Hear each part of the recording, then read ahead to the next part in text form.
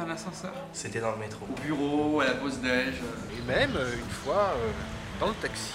La dernière fois? Dans mon lit. Bah quoi? C'était dans l'ascenseur, non, c'était en voiture. Ce que je peux vous dire, c'est qu'il y avait du monde dehors. C'était chez moi. En fait, je le fais tellement souvent. Je l'ai même fait sur la table de Public Sénat. L'application le plus nouvelle, Ops, à quoi vous pensiez? Avec l'appli, vous pouvez contribuer au débat où que vous soyez. Si vous voulez que je vous fasse vibrer, abonnez-vous à moi.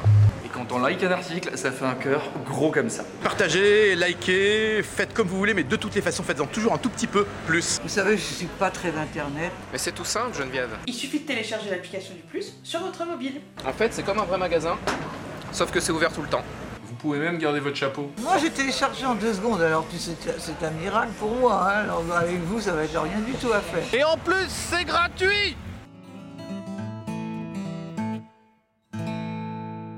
Bisous.